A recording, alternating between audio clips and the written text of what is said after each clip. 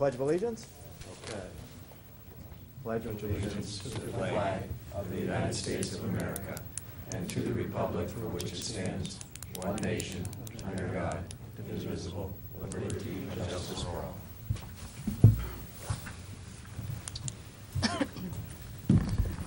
Roll call to uh, reconvene. Mr. Bell? Here. Mr. Kraus? Here. Mr. Palunas? Here. Mrs. Meany? Here. Mr. Mooney? Here. Ms. Richmond? Here. Mr. Russo? Here.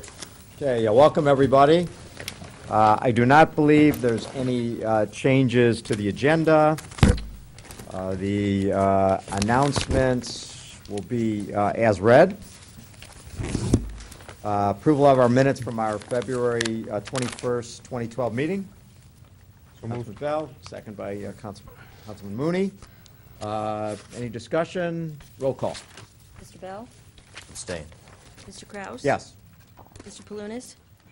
Yes. Mrs. Meany? Yes. Mr. Mooney? Yes. Ms. Richmond? Yes. Mr. Russo? Yes. Okay, it brings us to comments from the audience. Uh, Any comments from the audience? Going once, going twice, all right.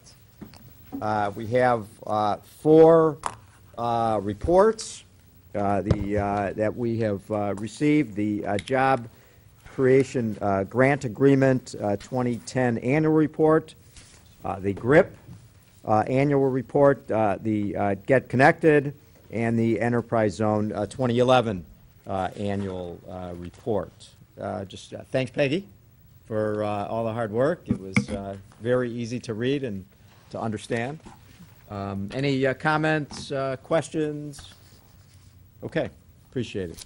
Um, We have uh, two items under uh, Planning Commission consent. Item one. An application was received from Teal Properties LLC for property located at 29500 Fountain Parkway. Was for site plan approval for an expanded loading area, and the Planning Commission recommended approval. Item two. An application was received from Nestle's USA for property located at 30500 Bainbridge Road for an 18-foot 6-inch side yard parking setback variance from residential property, a rear yard setback variance, and uh, site plan approval for parking lot expansion, and all the items were approved by the Planning Commission. Okay. Tony, a motion to approve? I would move to approve items one and two from the Planning Commission under suspension. Motion to approve by Councilwoman Richmond, Councilman Palunas, second. Uh, Roll call under suspension. Mr. Bell? Yes. Mr. Kraus? Yes. Mr. Palunas? Yes. Mrs. Meany? Yes. Mr. Mooney? Yes. Ms. Richmond? Yes. Mr. Russo? Yes. Final passage. Mr. Bell? Yes. Mr. Kraus? Yes. Mr. Palunas? Yes. Ms. Meany? Yes. Mr. Mooney? Yes. Ms. Ms. Richmond? Yes. Mr. Russo? Yes. I know, I know. The meanie mooney. The is- meanie Mooney's getting to me. All right, we have uh, two items under our uh, Planning Commission. Item number three. An application was received from Robert and Diane Smith for property located at 5410 Harper Road. Uh, The application was for a 352.3-foot lot depth variance, a 19.02-foot lot depth variance, and a 280.12-foot lot depth variance, and approval of the lot split. The Planning Commission recommended approval of the lot split and the variances. Okay, uh, Rob, you don't get to do this uh, very often anymore, so I know, you're I on. have to- I'm, I'm a little rusty, but, uh, yeah, this, uh, this is a 7.5 acre uh, property, uh, and it's just south of Hawthorne Parkway on uh, Harper Road. And the proposal, it has a house on it. The proposal is to split it into three different lots. Uh, One would have the house on it, and would be two buildable lots. The proposed buildable lots would be the same size as the other lots uh, in the area. They, they go back to the same depth. The issue here is uh, not what you would normally get where a lot's too small. This is a lot that actually under our code is larger than it's supposed to be. It's only supposed to be .55 acres. Each of these are over uh, two acres at least in size. So uh, they do need a variance because of the, um, uh, the width of the lot relating to the depth of the lot. So it's a size variance. Okay, uh, any uh, comments, questions? Uh, I know that the uh, surrounding uh, residents were notified. I don't know if anyone uh, is here uh, for uh, item number three. If not, we'll take the variances. First, we have a uh, 352.03 uh, lot depth variance, parcel one. Is there an objection to the variance? Any objection to the variance?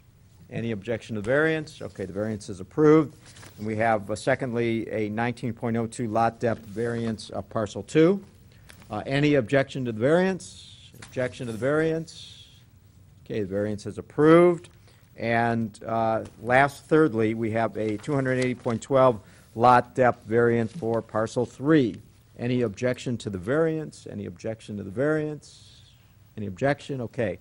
Uh, The uh, three variances are approved. Uh, Now we need a motion for uh, lot split. I would move to approve the lot split for 5410 Harper Road, permanent parcel 951-11010. Motion approved by Councilwoman Richmond, second by Councilman Russo. Uh, Roll call uh, on the lot split. Mr. Bell? Yes. Mr. Kraus? Yes. Mr. Palunas? Yes. Mrs. Meany? Yes. Mr. Mooney? Yes. Ms. Richmond? Yes. Mr. Russo? Yes. Okay, uh, brings us to uh, item uh, four, which uh, was approved by the uh, Planning Commission after uh, several work sessions and Planning Commission meetings. And as we note, there are multiple variances as well as, I believe, uh, 14 uh, various contingencies uh, along with it. I know we have representatives uh, from uh, Echo Solon, Giant Eagle. Um, Rob, I don't know if you wanted to, if you wanted to uh, give just a brief uh, introduction and then hand it over to uh, Echo? I can, I- I don't want to obviously step on, uh, on Yeah. their toes, because they're going to give a the plan, presentation. from the Planning Commission's perspective and. Uh, Yeah, I mean, it went through various iterations, obviously, and I'll just show you quickly here, for those that don't know what's, what's Okay, occurring. Thanks. Um, This is obviously the existing shopping plaza, which you see here. Uh, About 75% thereabouts uh, of this plaza would be removed, roughly from this line uh, south down towards um, Som Center Road. This would all be gone, and a new Giant Eagle would be built in this area right here.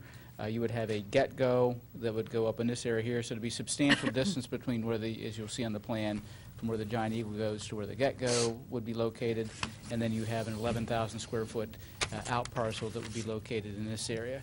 Uh, There's a number, number of variances, uh, really not that many variances for a project of this size, frankly, but there are a number of variances that you have to consider.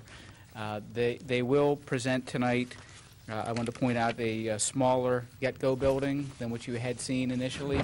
Um, The uh, plan had called for, uh, I think, a 3,500 square foot get-go. It's now, uh, the plan that they will present to you tonight will show a 2,080 square foot uh, get-go building. Uh, There's some benefits to that. I know some of you are concerned about the size of it. Uh, I I would ask, or suggest that you also ask them to show you what the relative elevations will look look like, too, because it is going to be a different-looking building if it's a smaller building, too. So, but uh, other than that, I think I, uh, their presentation is probably what you need to see. Okay. Um, Before we get to the presentation, I do want to make sure that, since it's on first reading, that, uh, Carol, if you wouldn't mind, I know it's going to take a little time, but if you wouldn't mind uh, reading it. Uh, Item number four. Item number four is an application from Echo Solon for the uh, Giant Eagle Solon Shopping Center located on Aurora Road and Som Center Road. Uh, There are a number of variances. The Planning Commission referred it back to the council and also referred it to the Safety and Public Properties Committee previously. A recommendation was received from Safety and Public Properties, and I guess I'll start with the variances. Uh, There's a not to exceed a 12% total green space variance, which the Planning Commission approved. A total number of parking spaces without interruption of green space variance, which Planning Commission approved. A 2,635 square foot maximum building area variance for the Giant Eagle, which was approved by the Planning Commission. A maximum building height variance for the Giant Eagle Peak, which was approved by the Planning Commission a building material type variance. Planning Commission approved and noted that it did not apply to the get-go or the out parcel building. There's a 10-foot front yard building setback variance for the drive-through canopy, which was approved by the Planning Commission. A 25-foot front yard building setback variance for the get-go building, which the Planning Commission approved. 22-foot front yard building setback variance for the get-go gasoline canopy, which was approved by the Planning Commission. A 12-foot side yard building setback variance for the Giant Eagle loading docks, which was approved by the Planning Commission. A 15-foot side yard accessory building setback variance for the out parcel dumpsters, Planning Commission approved. A 20-foot rear yard accessory building setback variance for the dumpster located behind the renovated plaza, which was approved by the Planning Commission. A five-foot front yard parking setback variance for parking along Som Center, approved by the Planning Commission. A 15-foot side yard parking setback variance for parking adjacent to the BP property, approved by the Planning Commission. Uh, 25-foot rear yard parking sidewalk setback variance as indicated on various locations on the site plan. Planning Commission approved. Uh, 10-foot parking lot setback from building variances as indicated on the site plan, also approved by the Planning Commission. Uh, Street access drive setback variance for the southernmost Som Center Drive, Planning Commission approved. Uh, 22-foot building space setback variance for the Get-Go building, approved by the Planning Commission. Uh, 721 square foot accessory building area variance, Planning Commission approved. And a site plan for the Giant Eagle redevelopment, and the Planning Commission recommended approval. Do you want me to read the conditions No. now, or? No, I think what Okay. the variances uh, satisfies the the requirements of the uh, reading. Um, Tony, if you want to just uh, talk a little bit about the uh, Planning Commission uh, review? Right, um, from the Planning Commission's perspective, uh, this project has always been on the fast track. And the reason that it's been on the fast track isn't because of time constraints uh, issued by the city or by Giant Eagle or um, Echo Solon. These were time constraints issued by the court, that this project has to be done and ready to go and be approved by the middle of April. I can't recall whether it's April 12th or April 14th, something like that. I think it's the 11th, but go ahead. And so normally in the planning commission, we like to have all the ends tidied up and, and present a, a ni- nice, neat package to, uh, uh, city council. But in this case, we moved it forward with, uh, some fourteen contingencies. Um, And so I just wanted to give an explanation of, of why this is on a fast track, why we moved this so quickly, uh, with the fourteen contingencies. Yeah, And, and just so, I mean, the public is aware that we will be um, reviewing this um, probably three times. uh, This evening, uh, at our next meeting in two weeks, and uh, at the first meeting uh, in April to be able to uh, uh, satisfy the requirements and also satisfy the, the court's requirements. Mayor? Um, Just two quick comments, just to touch base so everyone's aware um, before the presentation. There were two of the variances that did not receive a 5-0 vote. Um, And just so that the council understands, the one is not to exceed a 12% total green space variance. That was a four to one. Um, Council, uh, commission member uh, Newberry felt that they could get more green space. Everyone else felt that the 12% was sufficient since it is a greater amount of green space than what's already, than what's currently there. Uh, And then the second issue was the uh, square foot um, accessory building, which would be the Get-Go, the s- increased size of the Get-Go. There was discussion that the, the size was determined by the development agreement. That is not accurate. It is not stated in the development agreement. I believe it might have been stated in an earlier one, uh, meaning from a few years ago, but not the current one that's before us. And then uh, I had made a comment, um, uh, I, I supported the variance because I did want it to go through and have council um, decide the final square footage of that building. But then um, it, it is going to be right next to the Sprint building, so uh, in talking with Rob Franklin, he was saying the increased size might look better in proportion with the Sprint building. So I just think that that needs a little bit more attention. Um, I know that's one of the issues that residents have brought up uh, when talking about uh, the development, but um, as Rob was saying, a a larger building, more in proportion with the the two buildings it'll be next to, it might look better. So it's just something for council to be aware of um, as you go through these discussions. It might be something, um, uh, I don't know where Echo is at this point with that, um, but uh, uh, just so you're aware, it, it- but it was not in the development agreement. Thank you. Mr. Kraus? Tom? If I can add at the end, too. Uh, The first step really is the significant administrative review that was done on these matters. It just didn't go to planning, and they had a few meetings, and it was approved. There was a significant amount of administrative review from the administration, not only from the mayor, but from the planning commission with Mr., F- uh, Planning Director, Mr. Franklin, the engineer's office, with Mr. Bush and Kerry, and then uh, other people from the economic development are even getting involved, and then it went to public safety. So there was a lot of hours that were put in on this thing, a lot of hours before it even went to any of the committees. And then after it even went to the planning commission the first time, there was a lot of hours in between that was set. And then the second time, it was a lot of hours in between there. And then finally, we get almost the unanimous uh, determination for the recommendation to come to this body.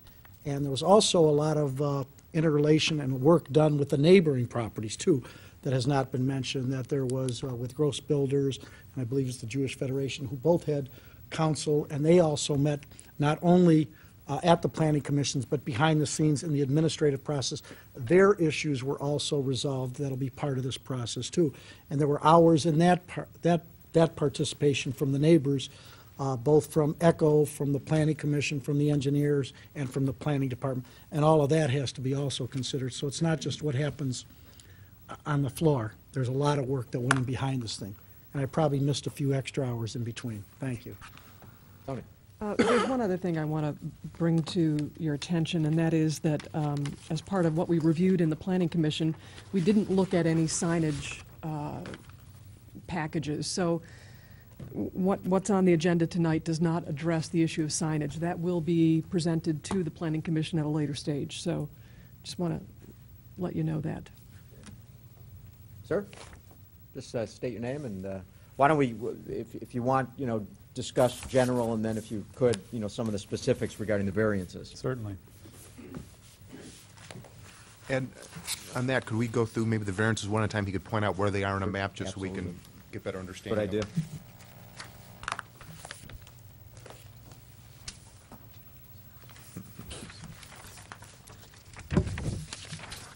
Sure I have everything. Thank you, Mayor, Vice Mayor, members of council. My name is Phil Bishop, Vice President with Echo Realty. Uh, With me this evening is Pat Avolio, representative of Giant Eagle. Um, Way of introduction, albeit we don't need any introduction. I was looking at my notes. Uh, We started a meeting back in August, I think it was, uh, relative to Mr. Loby's comments. But anyways, Echo is the development arm, uh, separate wholly owned subsidiary of Giant Eagle. Uh, We do the real estate development. We end up owning the properties at the end of the day. Uh, We're a a committed developer. We're not a type of development company that comes in and sells it and then walks out of a community. Uh, This is a long-term investment, not only for us, but understanding the city as well. So we're here to stay. We're excited. Uh, We're excited that we have uh, come this far. We can see the finish line uh, come April 12th, hopefully, when we close. Uh, We'll see that finish line achieved and then start construction. A Little bit of the schedule, letting you know where we're going to go once we uh, get everything in order by April 12th. As Mr. Franklin mentioned, the existing center is uh, a backwards L, running north, south, east, and west. It is our intent to demolish approximately two-thirds of the existing center and replace it with a brand-new 92,000 square foot Giant Eagle. Uh, Portions of the existing strip center to the north will remain. In addition, we're proposing a 11,500 square foot out parcel, which will be retail space, and then the Get-Go, uh, which will front along Som Center, but have access via the same driveway that the Giant Eagle does. Schedule-wise, once we close in April, uh, our concentration will be on relocating some very key existing tenants within the center to either the retail center to the north or the brand-new facility that we're going to be building. Uh, Those tenants will be in and operational by October or November of this year. Uh, Once that is completed, we will then be able to come in and demolish the southern section of the existing center, giving us the ability to start the pad preparation work for the Giant Eagle. All while the existing Giant Eagle remains open and under operation until the new Giant Eagle is open for operation sometime in the summer of 2013. The final phase, once the new Giant Eagle is open in the summer of 2013, would then to be go back and demolish the existing Giant Eagle building, albeit only a portion of that, and then the remaining portion would be a 20,000 square foot retail use that is yet to be identified in the existing retail center, which would be open and operational probably November of 2013. So we're looking at about an 18-month construction time frame with a lot of moving parts, keeping Giant Eagle open, keeping the existing tenants that are going to remain open, building new spaces for them, relocating them, and then um, tenanting the other spaces that we are currently marketing. I'm happy to report, as I did at the Planning Commission meetings, leasing uh, is being handled by Visconsi for us on this project.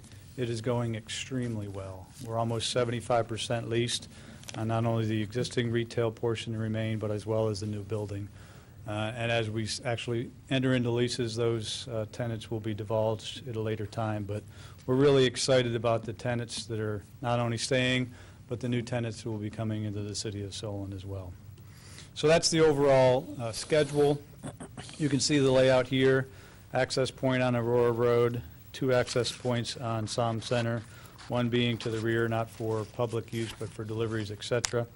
Uh, No other accesses up and along Som Center Road, although we did write into the plan some contingencies for future consideration with our neighboring properties if things develop to allow cross-access in between our properties and theirs.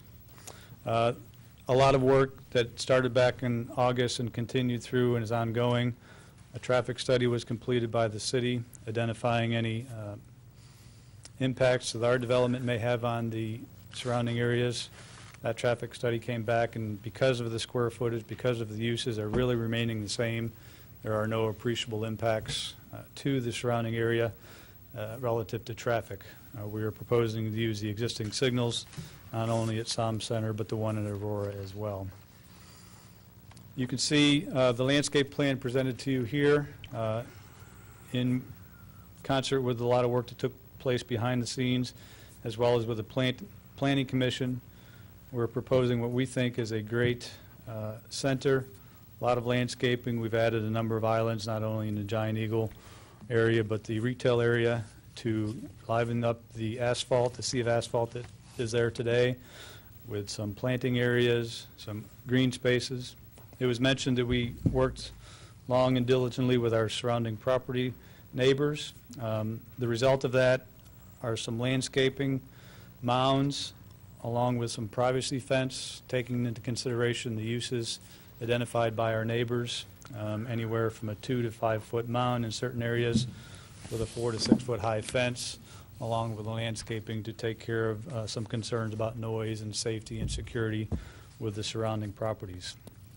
We also work with the surrounding neighbors to identify some location points for future pedestrian access.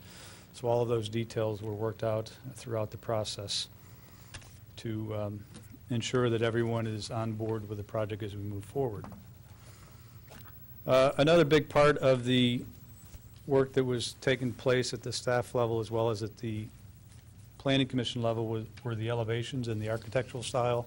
If you recall, the developers agreement that you approved a month or so ago indicated the Western Reserve architectural style, which we incorporated into the center, starting with the Giant Eagle itself. Giant Eagle being the largest tenant, obviously, they're the sort of leading the architectural theme and design, and what you have here before you is the result of that.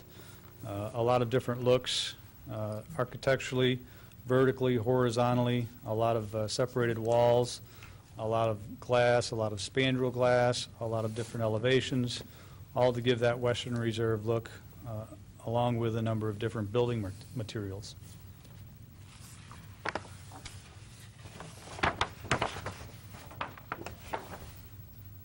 This is just another perspective, a 3D perspective, if you're standing out along Som Center Road looking into the Giant Eagle, just to give you some of the relief that is identified. They're not big, flat walls on any side, actually, all four sides. There's a- a number of articulations, which gives the relief, which breaks up the very, the various walls, uh, both from an architectural perspective, a color perspective, again, to give that overall Western Reserve theme, starting with a Giant Eagle.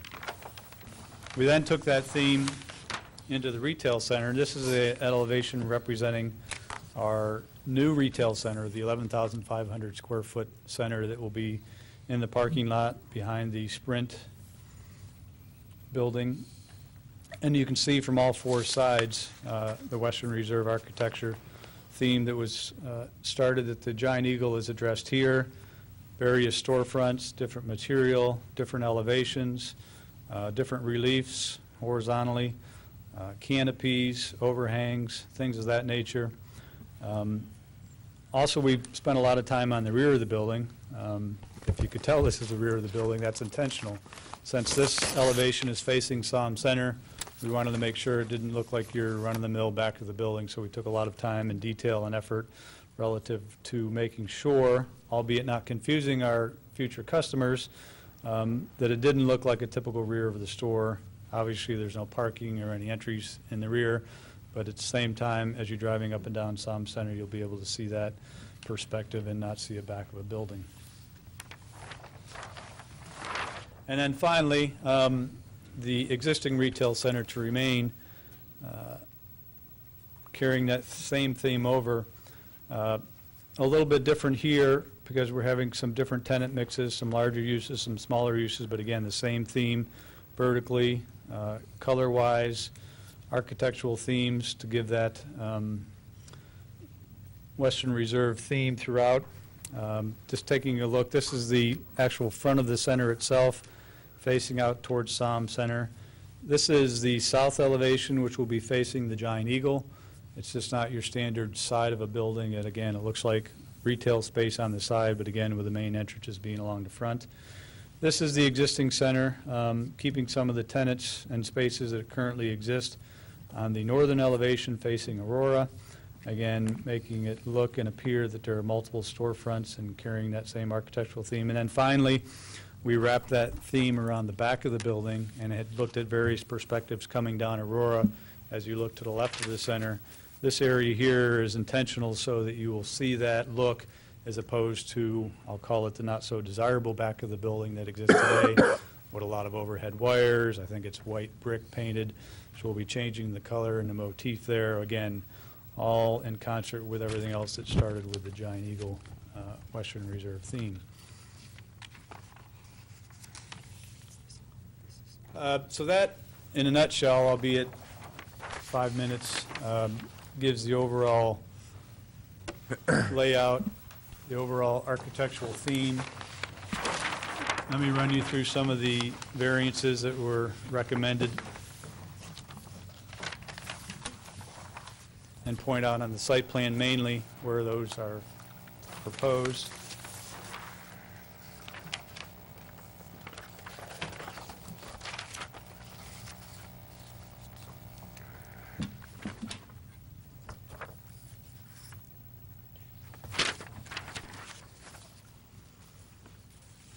Twelve percent green space, uh, as I mentioned earlier, I'm upside down, but I think you have the perspective. Giant Eagle, retail space, north, south. All the landscaping islands and the surrounding green space um, will not go below the twelve percent of the total acreage. If you look at the existing center now, I believe that percentage is probably three or four, so it's a significant increase of the green space that is currently existing on the site. What is your percentage? Do you know what it is? Existing, No, what, it- what will it be in your project? uh, currently it's 13 to 14 percent. We've added a number of islands um, in these three specific locations that I'm aware of throughout the process when we began with Planning Commission back in March. So it's, it's greater than 12 percent green space. I think it's 13 and a half percent. Bill and then Bob. I, I just, Rob, can, you- I don't understand the variance then. It seemed like they're above 12%, so I wouldn't think there's a variance here, so I'm missing something. I believe the C3A ordinance is 20 or 25 percent Ah, requirement. so that's what it is. You It's a need, 25% requirement. Since you're redeveloping the site, it's like starting anew, but uh, Phil was right, there's actually only like 3 or 4% green space there now, so it's a significant increase over what's, what's currently Okay. on site.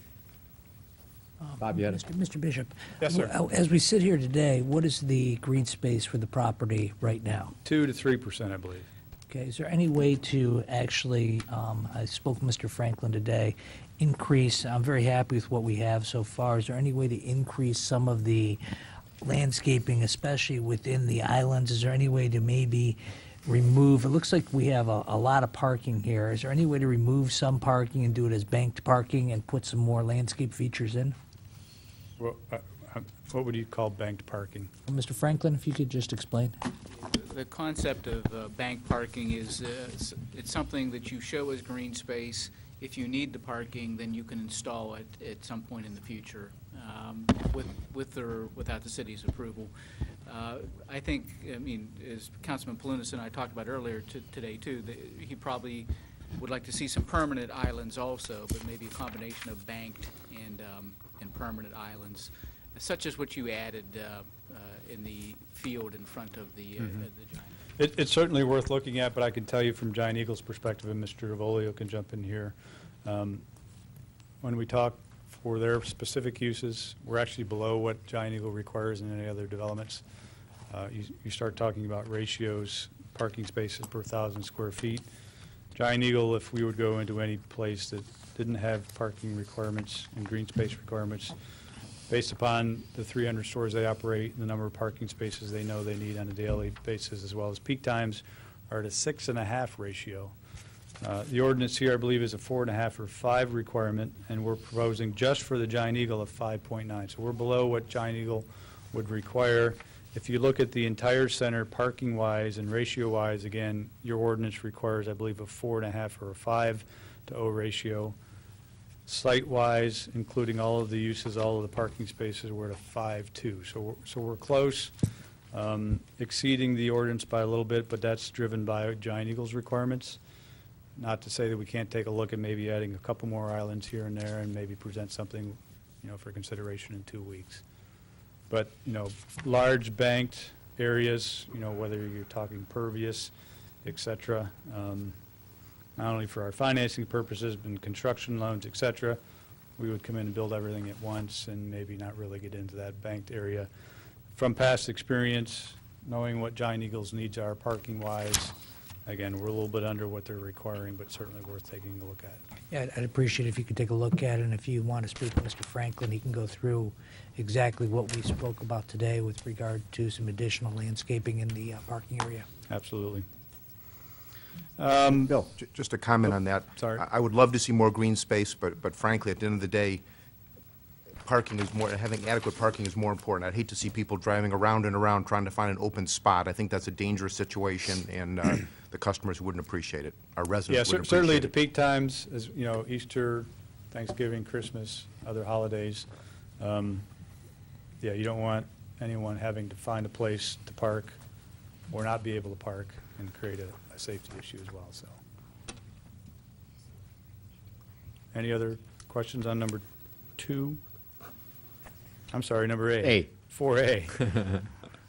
Four B, All right. um, total number of parking spaces without inter- interruption. Again, I believe the code requires every 20 spaces to have internal islands. Again, based upon the number required, we put those islands where we thought were sufficient to break up the large areas of the parking space. Maximum building area variance for the Giant Eagle, 2,635 square feet. Again, I believe the C3A ordinance required a 90,000 square foot.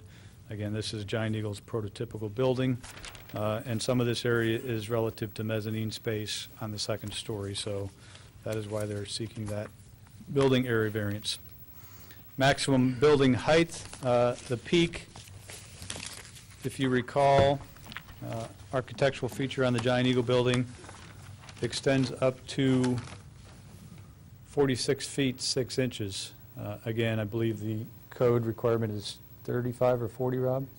35. So this area here exceeds that, uh, depending on how it's measured. If it's the average area, we're just above that requirement, so that is the variance relative to the height of the peak of the Giant Eagle only.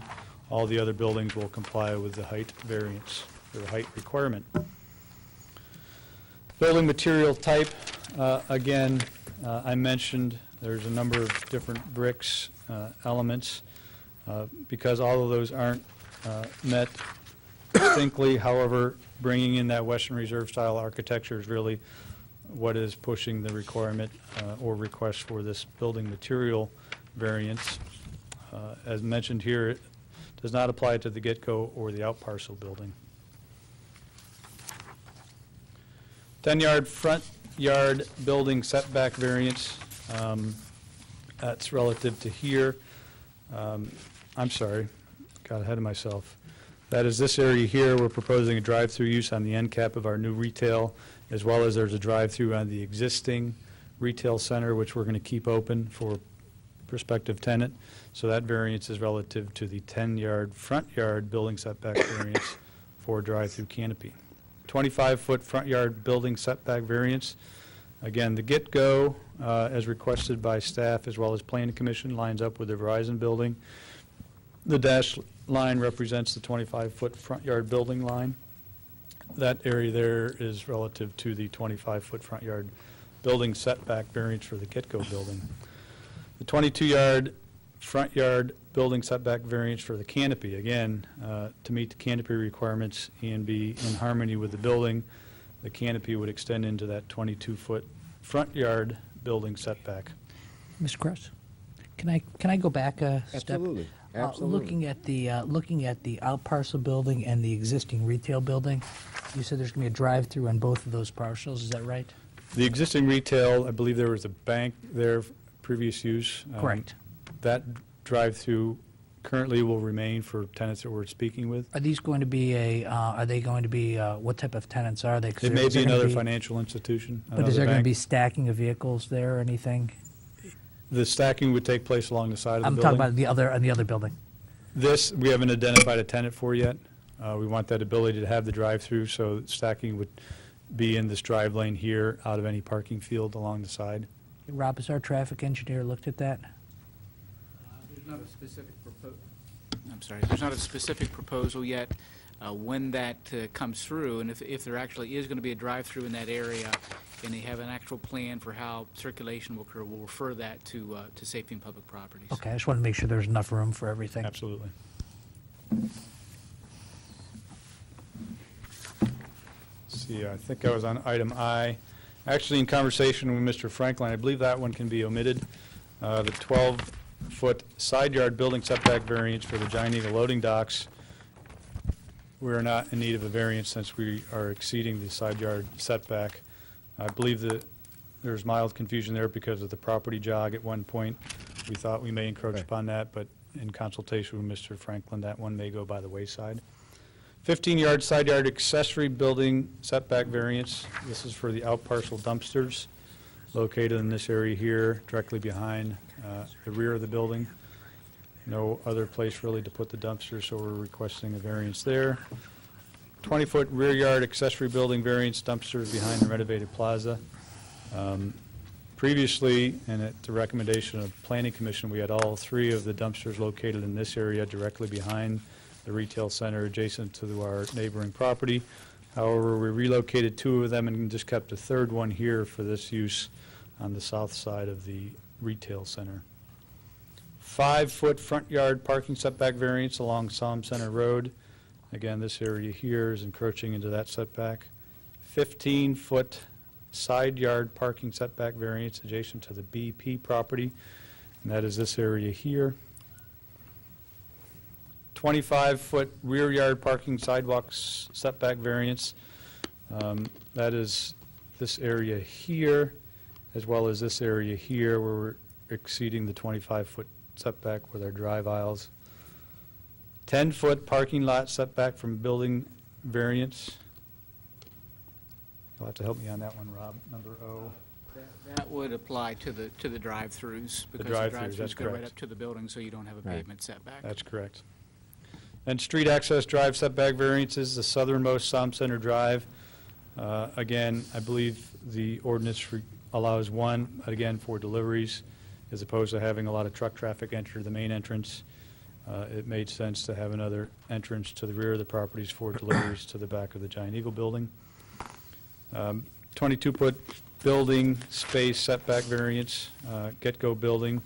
We already talked about that. That may be a duplicate now that I'm looking at it. 721 square foot accessory building area variance. Um, As mentioned earlier, this is what we are proposing to change. The C3A ordinance requires 3% of the building area, which would be 2,600 square feet uh, for an accessory structure. Uh, After the discussion that took place at the Planning Commission, Giant Eagle was willing and has made a change to a 2,080 square foot building.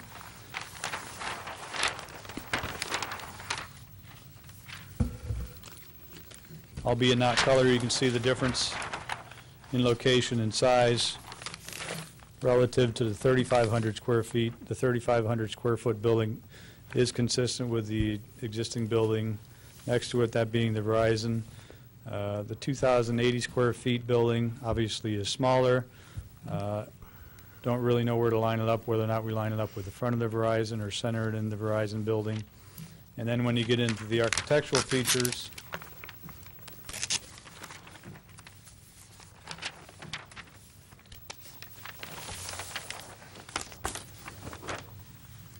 This is the smaller building. Uh, For orientation purposes, the front elevation facing south towards the proposed giant eagle, the side elevation facing to the side of the, and into the center, the other side elevation facing Som Center Road, and then the back elevation would be facing the Sprint building. In contrast, the larger building um, gave us the ability to add a few more design features. Again, the rear elevation facing the Sprint building, the front elevation, again, being a little bit wider, and then the side, two side elevations. You can see the difference there in the architectural features presented uh, on both the larger building and the smaller building. Uh, That was all of the variances requested. Um, And as mentioned, um, all of them were unanimous with- except two. Uh, One other matter that I failed to mention as a matter of housekeeping uh, at the first meeting with the Planning Commission, but for Mr. Loby's benefit and ours as well. um, As you entertain these uh, variances, not only must you consider your own ordinances, but the Ohio State Supreme Court back in 1986, uh, in a case Duncan versus Middlefield, uh, concluded that there are other factors that should be taken into consideration while considering variances, those being whether the property in question will yield a reasonable return, or whether there can be any beneficial use of the property without the variance, whether the variance is substantial, whether the essential character of the neighborhood would be substantially altered, or whether adjoining properties would suffer a substantial detriment as a result of the variance, whether the variance would adversely affect the delivery of governmental services like water, sewer, and garbage, whether the property owner purchased the property with knowledge of the zoning restriction, whether the property owner's predicament feasibly can be obviated through some method other than a variance, and finally, whether the spirit and intent behind the zoning requirement would be observed and substantial justice done by granting the variance. We, again, working with staff, think that we um, meet all of those requirements as established by the Ohio Supreme Court as well. So that was just a little bit of record keeping um, that I failed to mention previously at the Planning Commission. With that being said, I'll entertain any questions you may have myself, Mr. Avolio, relative to architecture, relative to variances, relative to the size of the Get-Go building, or anything else you may have, so. Okay, uh, Nancy? Um, I guess my question is the get-go. And Rob, maybe you can answer this. When this all first started, what was the size of the get-go originally? It was uh, even s- uh, smaller, I believe, than the Okay. reduced size. I think it was around 1,200 square feet. 1,200 square. And what's going to be in the get-go? I mean, are we having, like, okay.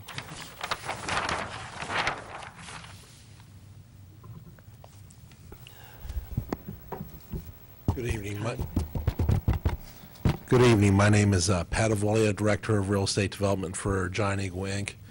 Um, Just to talk a little bit about the the Get-Go. In the larger building that we were proposing, or we had in front of Planning Commission, we actually had some interior seating area as well as a, uh, uh, some prepared foods um, within, the in the store itself, predominantly uh, prepared subs and an expanded coffee beverage programs itself.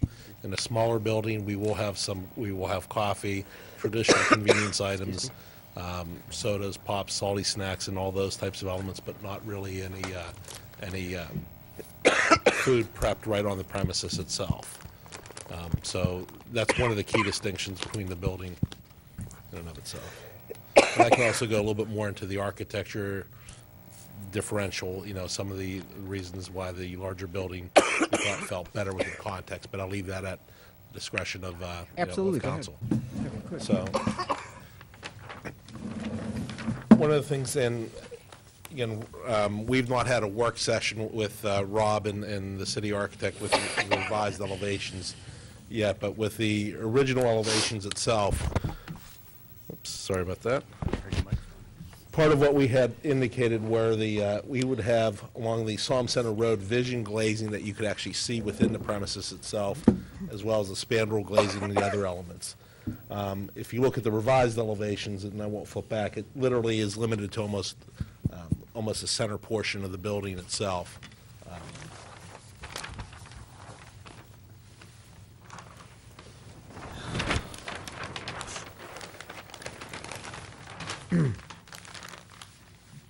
if you look at the, the amount of scale. So this was actually vision glazing along the front area, and we're maintaining the similar element with the spandrel glazing. Then as you go back to try to end cap and wrap it around, we've lost gla, a little bit more glazing there itself for glass and whatnot. Um, along the front, we've also reduced the amount of glazing in and of itself. But again, we're here, you know, we've spent a, a long time and effort here. I think, uh, uh, Last time I was here back in uh, fall of 2009, there was a lot of new members, some old faces in council, but, uh, you know, we've worked hard and long at this, and we don't want to upset the apple cart at the 11th hour, but, you know, we do feel that we can live with either the smaller building or the, the larger building would be our preference, but, you know, we're here to work with the city in order to, you know, get the fruition with this project. Bob? Yeah, I have a question based on the glass. And we had some issues in the past with regard to CVS and the glass that's on the uh, front of that building. How does this type of glass compare to what the CVS has on their, on their frontage? If I may, uh, there would not be comparable at all. That was a, uh, a white, uh, gray type spandrel glass. Um, We have used a lot of spandrel glass uh, correctly over the past couple of years, so it doesn't look like the CVS building, so you wouldn't even notice it. For instance, on the CarQuest building, on the, excuse me, the Walgreens building, has a lot of, lot of um, spandrel glass, and for- for everybody that doesn't know, spandrel glass means you can't see through it. It's just, it's a decorative item. Uh, So there are ways to do it that uh, will look just like glass. And we've used that quite a bit over the couple of years, and none of them look like what had happened with that CVS. Yeah, I just want to make sure they weren't trying to match what was across the street. No, we, we wouldn't do that. No, we've, we've spent a considerable amount of effort providing samples in the depth of, the- so there will actually be a depth to that glass, um, you know, both on the supermarket and the get-go itself. Bill? and then- Uh, Just want to give you, my preference in the building is a smaller building. Uh, The more you can open up that shopping center and- and not kind of close in Som Road with buildings all along it, the happier I would be. Rick?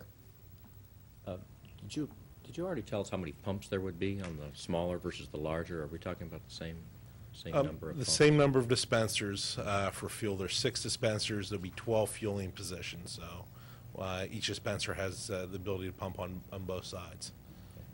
And, uh, Mr. Bishop, on the existing stores, Yes. uh, if you could, would you mind opening that up for us so we can see that again? Right now, there's, there's storefronts on the, on Aurora, top of the existing stores with some parking space, spaces there. Do we have that on your, accounted for on your map? The uh, north elevation, yes, sir, exi- existing stores uh, located on that north elevation, again, because of the proximity of the drive-through, which we are keeping on the westerly side of that. The parking spaces, um, Way up north there. Yes. Right now, the- we the- have The some. park, the parking spaces for those are directly here in the rear of the center. There's not enough depth to meet township requirements, or city requirements for aisle widths and/or parking space. If we put parking spaces, we wouldn't even be able to get a one-way road through there. Right now, So- they have, they have parking spaces along Um, the side there. Yeah, but they're not code compliant, so what our intentions were is to make parking available here in the rear. About how many spaces would you have there in the rear? Uh, We have proposed 22, I believe, in that area. Okay. How many storefronts are on that? There are three existing storefronts here on that northern section. And again, uh, you know, we may be able to get a couple parallel parking spaces here, but again, the width to conform with the city requirements for drive aisles, we wouldn't be able to fit front-end parking spaces. They may do it today, but I don't believe it's code compliant. Rob, do you know if there are handicap spaces right there now currently? If the ones, I, I know I have driven through there before and Uh, I do not know. If that's important to you, I can have that at the next meeting. Uh, Whatever happens with this project, since they're redeveloping, they'll have to be compliant with the, with the state requirements, so. I just know that where you're pointing to park in the back. Yes. It's kind of a far uh, walk around. uh, Windy, exposed, and I'm just wondering where the, if there is handicapped parking right now, uh, if it is right there, or if it's somehow accounted for elsewhere for, for those stores. Very good question. I think Mr. Bell brought up a very great point there, because if, the way it stands today, I don't know if you're going to have the same tenants, or even if you have different tenants in the future there, if someone has a, a dry cleaner or a, um, something where you have to carry a package or something, it's, as Mr. Bell said, it's, it'd be more difficult. So even if it's a couple of spaces out front, if it- again, parallel parking or whatever, it's something Even if they were just 15-minute only spaces Yeah. or something like that. that Great might- point. Might make a, that might make a little more sense from a development perspective. Small stores there, uh, shoe stores and Correct. Dry cleaners.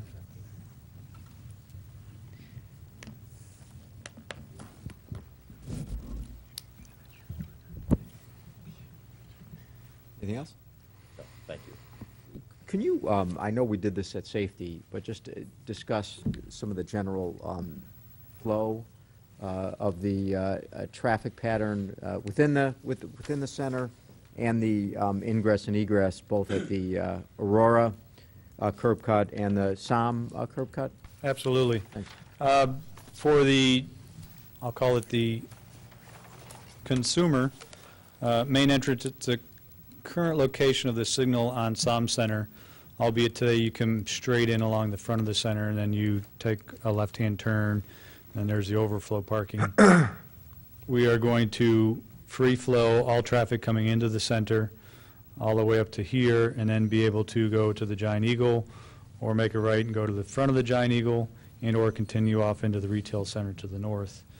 Um, Coming in as well from SOM Center, if your desire is to go to the Get-Go, you won't be able to make that first left, but you will be able to make the second left, again, giving s- stacking capacity, so we're not backing traffic up onto SOM Center.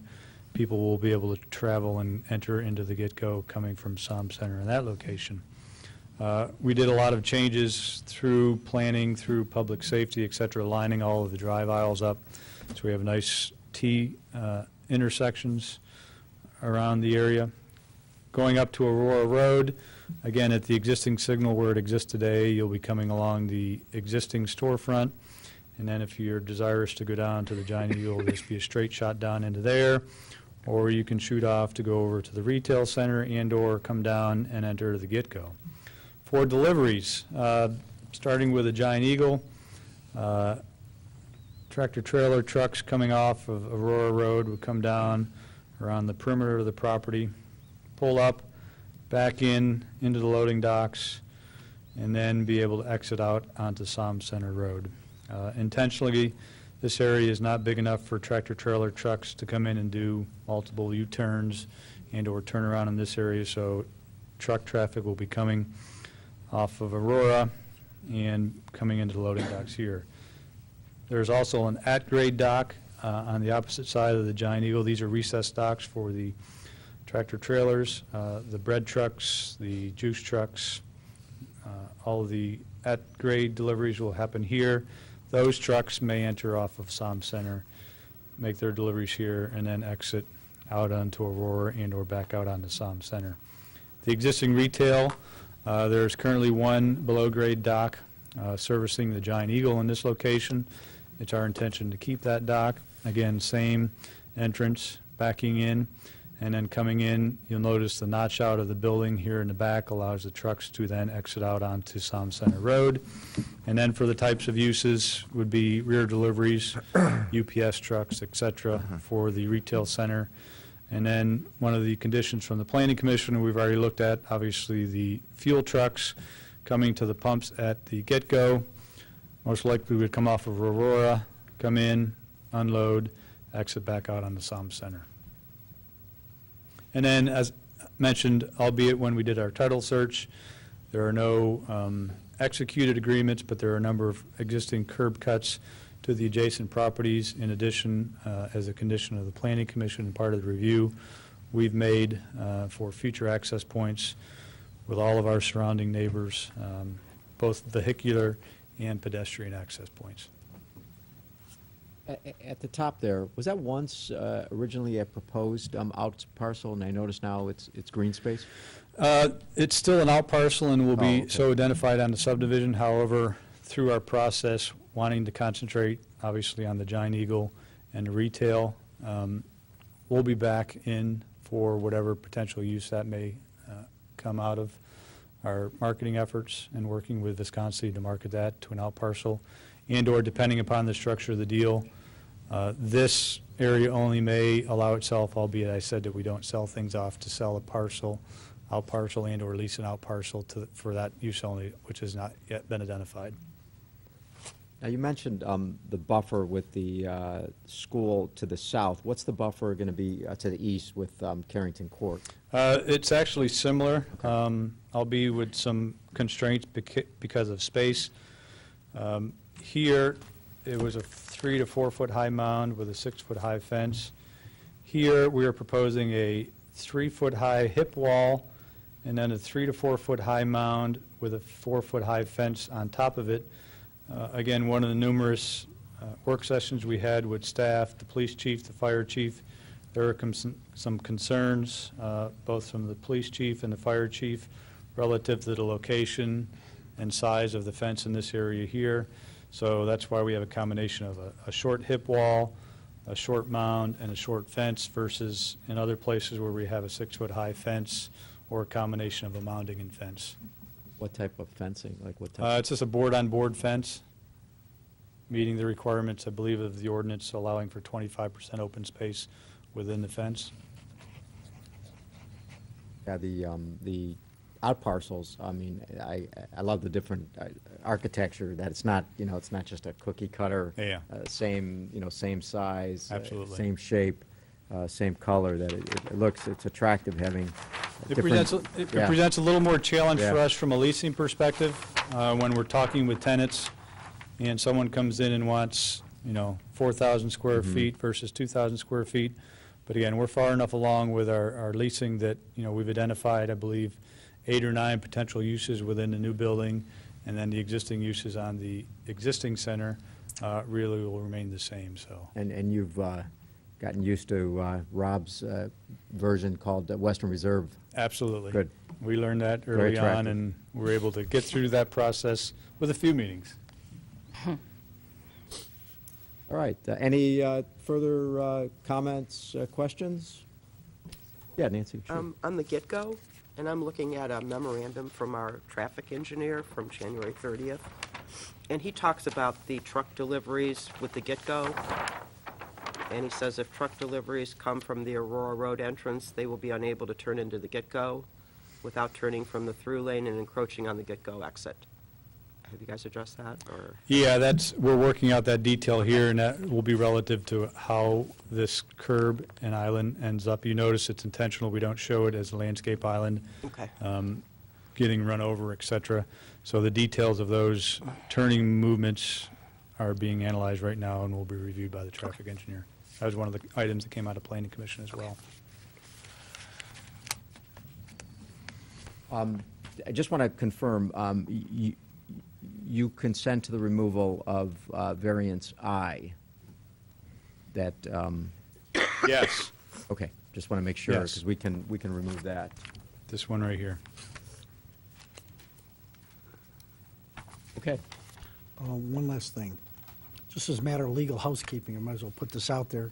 We talked about it early, it's been- got lost somewhere in the uh, planning issues. There's basically three matters of house cleaning that'll have to be possibly done by this council, and I'll coordinate it with Carol, hopefully on one ordinance. And that is that you can anticipate that uh, a review and a modification of the ordinance that this council put on for the moratorium. I don't know how much part of that moratorium is still on there, but we have to take that off uh, just in case, so that we can proceed with this.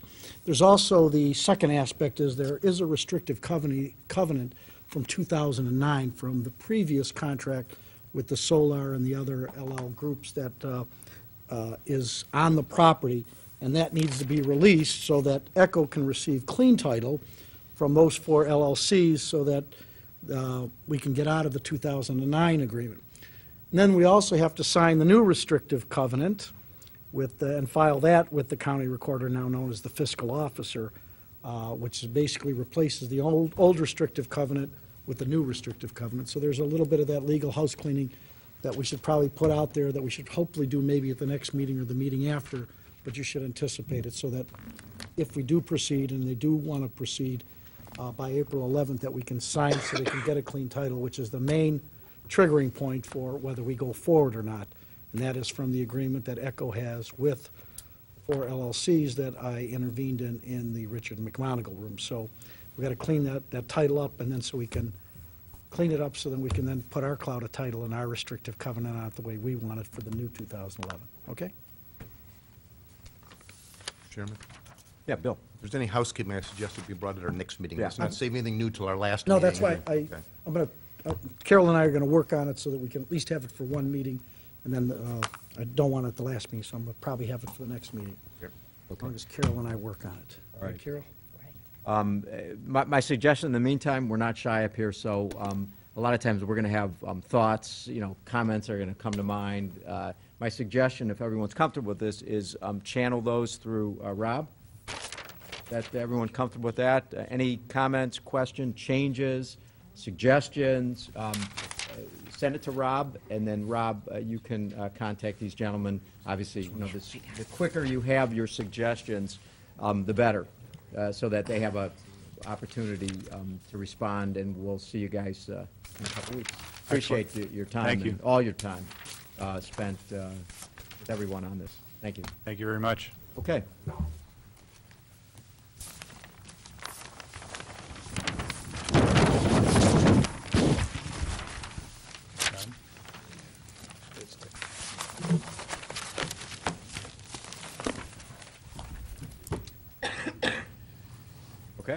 all right. Uh, Brings us to uh, new. We have uh, several items under new. Item five. Ordinance 2012-47, and ordinance adopting a master plan open space acquisition policy. Uh, Public hearing has been scheduled this evening to consider this item. Okay, uh, we do have the uh, acquisition uh, policy, and uh, I will uh, open the public hearing. Uh, Does anyone care to speak on uh, item five, uh, an ordinance adopting a master plan open space acquisition policy? Does anyone care to speak on item five? Okay, going once, uh, going twice. Uh, Rob, uh, do you want to uh, just give some uh, remarks? I know we were going to do it last meeting, but I figure we'll, we'll save it for tonight. and- Yeah, I can give a quick Thank you, review of what appreciate this is. Um, Green space preservation is one of the 16 listed goals in the master plan. Uh, There is no policy, though, how to achieve green space uh, acquisition, and this proposes one.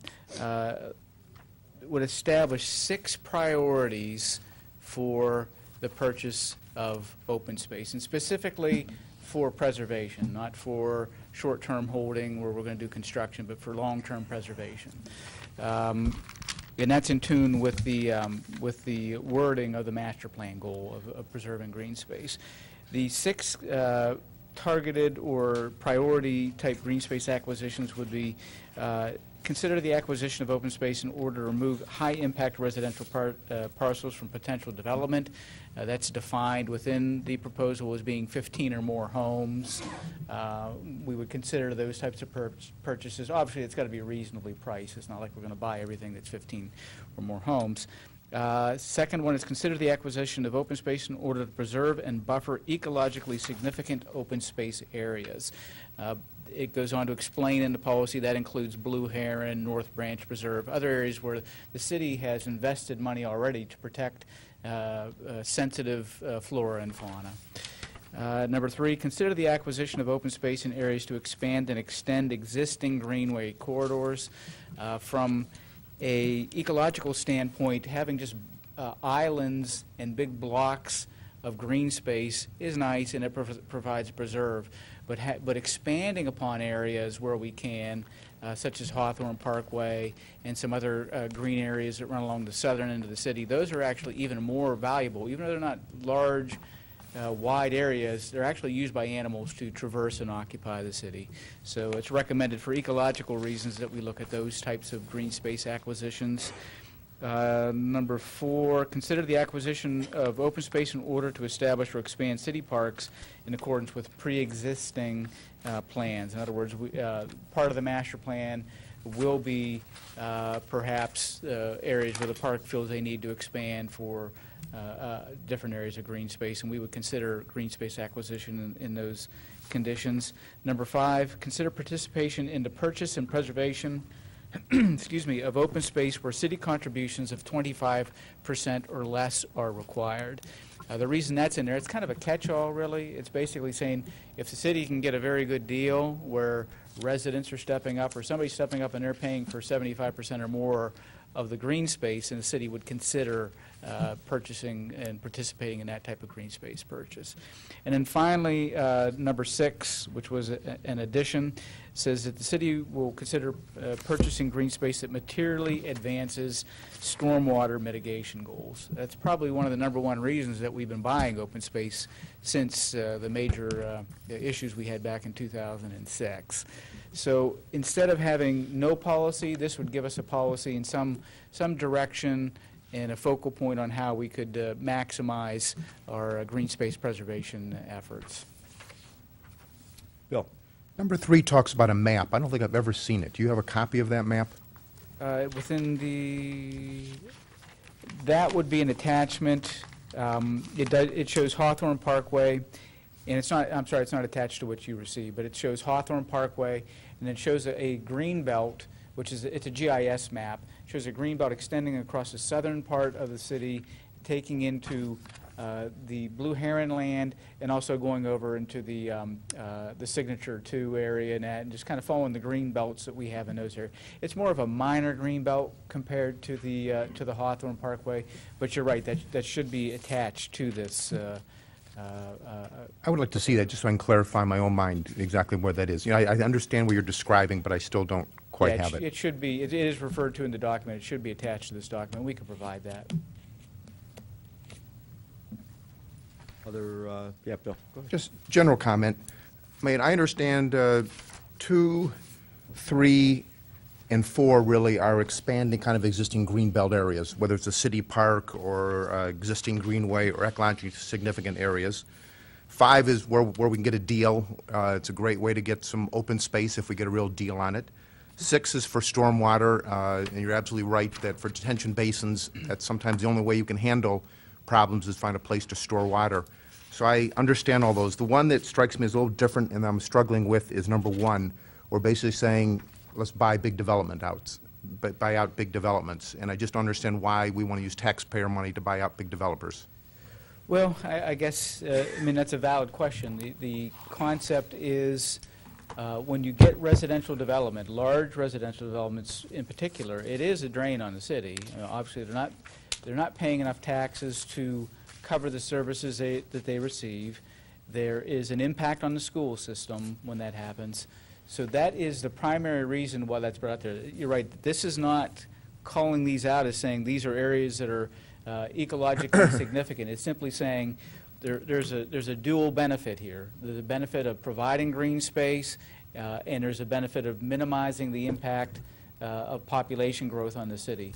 So it is a little different from the other ones, I I would, I would agree. If those two issues are not important to council, then, then you could certainly remove it. But the other reason, and I know you want to ask another question, Yeah, the other reason that I would leave that, uh, that I would su- suggest leaving that in is because the time that you, you as a council are most often requested to buy land is when there's houses proposed to be developed. And this would establish a policy for when you may or may not consider uh, the purchase of that land. So if some, if there's a five-lot subdivision, your approach and says, we want you to buy this because it's a five-lot subdivision, then you might say, well, our master plan recommends this. So I'm just throwing that out. Uh, I'll respond to one of those. The strain on city services, there can't be many parcels left in the city where you can build 15 or more houses. And adding, let's call it even 100 houses to a 7,000 house city isn't going to change the city service. You're not going to add a, a lot more policemen, a lot more firemen and things like that. So I don't think it affects city services very much. Uh, Whether, does it do the taxes cover the cost? They probably do on an incremental basis, not an average cost basis, an incremental basis. Again, you add very few people if you add 100 houses and 400 people to the city of Solon. That doesn't materially change anything in the city of Solon. The schools, I don't know about. We heard one person testify that the school size, class sizes are now getting smaller in the elementary schools. I don't know if there's any truth to that, if there's still an issue with the schools on population growth. Probably something we need to understand a little bit better. Um, I just would say that, you know, we do keep in fairly close contact with the school. I can tell you within the past year, their policy's been that they do not want growth in the city.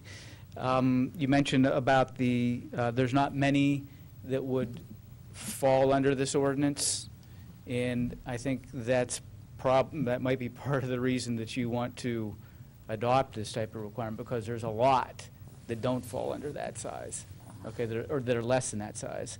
So council is going to be requested on a, on a uh, a pretty regular basis as these smaller out parcels come up to say, to, to buy land and to buy three or four lots or buy five lots. But it's not within the policy, Rob. There'd be no section here for buying either small or large developments. There, there would be, in that this is saying that what you're going to consider buying is land that can accommodate 15 or more homes in accordance with a yield plan that shows that you could actually accommodate the 15 homes. You see what I'm saying? So if somebody comes in, if, if there's a proposal to buy two homes, then you would say that's not in conformance with our master plan. Uh, If that's not important to council, that's probably going to be the number one thing that, that, that's going to impact you in this, in this uh, pro- proposed policy. If that's not important to you, then you can take it out. But I think your point is, is, uh, it, you know, hits the nail on the head. There's not very many of these lots that you would consider purchasing under this proposal. A misunderstanding, though. If, if we eliminated one, then we wouldn't have, there'd be no policy to buy any open lots people want to build on.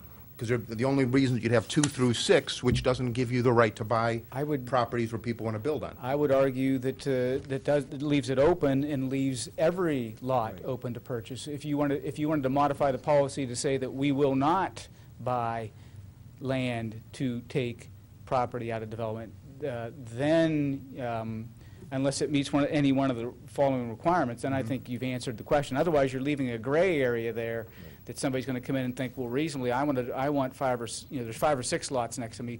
Reasonably, I can come in and ask council to buy those five or six lots because there's nothing that says that you, that you, uh, that you will not do it. See, I guess I read it differently. You, I- if someone comes and wants to buy us land, you look under this policy, and where does it fit into this policy? And if number one wasn't there, there's no place it fits. It's not next to an economic, economic, ec- ecologically significant area. Thank you. I knew I'd screw, screw that one up. It's not next to a green belt area, it's not a uh, detention basin, so it doesn't fit any of the requirements. Well, I've sat through a few of the meetings, and I can tell you that every lot that, uh, that you're requested to buy, there's an assertion that there's an ecological reason for it. Then I guess, it- then if, I'd want to exclude one, and I would actually want to change the language so we wouldn't consider any of them, whether it's large or small. So a positive That's how I view statement it. that you just don't buy green space in those situations. Yeah, large or unless it small. fits two through six, a deal or next to one of the other significant areas. Yeah, if your colleagues uh, agree with something like that or want to follow that route, I can write something different. No, I mean, I'll, I'll- I'll chime in. Um, I, I, I think that, um, one, I, I, I sort of read it the way Rob reads it, because I, I do think it, it tightens um, it up, and it flows from, um, the other uh, two through six, I think, um, flow from one. Um, I mean, I, I go back to, you know, some of the issues we've been involved in, the Springside um, property, even though I think there was only seven, um, par, seven or so parcels there. But um, I think by, by having one, um, it actually tightens it up. Um, and it provides um, more guidance, not, not less guidance. I think if, without one, uh, I, I think you have less guidance for, for us and for, for future councils. I think if you add one, uh, with maybe some, some change in, in, in the language, um, the others flow from it, because um, from, you know, some of the uh, open space, uh, you- you're going to have uh, ecological issues, you're going to have um, green space uh, issues, um, you're going to have uh, stormwater uh, management um, issues. So, I mean, I- I I read it where, where one tightens um, the others, and the others flow from one, even though maybe, you know, some, some language changes, but that's how I read it. Tony? And- And I would agree with your interpretation of it. I think that it tightens it, and uh, I don't have a problem with the way it's written. Any uh, uh, further comments? I mean, we'll keep this. I mean, obviously, we're not going to act on it uh, tonight. Uh, Let's uh, uh, keep this. If you have any, obviously, further uh, comments, if you have any suggestions, looks like um, some of the suggestions, or other suggestions revolve around item one. Um, So, I mean, you know, give uh, Rob some, some suggested uh, language, if you, if you have any, and then we'll, uh, we'll revisit it in a couple weeks. Okay? Okay, thank you. Thank you. Okay, uh, item six. Ordinance 2012-48, and ordinance amending Section 1248.08 of the Planning and Zoning Code subdivision regulations, design standards to establish minimum improvement standards for construction on city streets. Uh, Public hearing was held the last meeting. Okay. Uh, Tony? Uh, Yes, this is an ordinance that would uh, uh, tighten up the previous ordinance by putting in language that construction shall not occur on any lot unless full city improvements are installed across the entire frontage of the property.